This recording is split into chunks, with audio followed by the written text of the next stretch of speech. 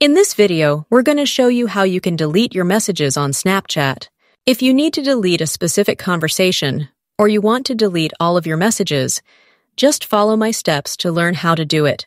And before we start, if you're new to the channel, please make sure you subscribe to the channel because it would really help me out. And without wasting your time, let's start right away. The first thing that I will do is I will open my Snapchat application and then I'll open the conversations section.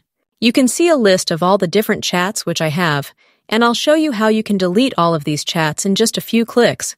But before that, let's say you want to delete a conversation with a specific person, and I'll delete the conversation with Team Snapchat. You want to long press on that conversation, and a little menu will show up over your screen. The next step is to click on this chat and notification settings. You will now see a few things, which are the clear from chat feed and also delete chats. So if you want to delete chats for a certain period or a certain time, then you can click on the Delete Chats option, and then you can delete them for the last 24 hours or after viewing them. Or you can clear the chat from the feed, and it's going to clear all the chats from there.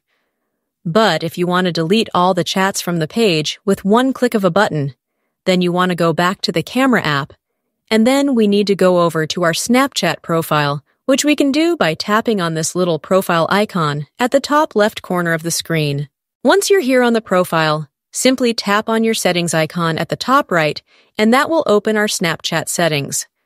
Now scroll all the way down to the bottom until you can see this Clear Data button, which is under the Privacy Controls section. When we open this page, it's going to give us a lot of options related to clearing or deleting specific things.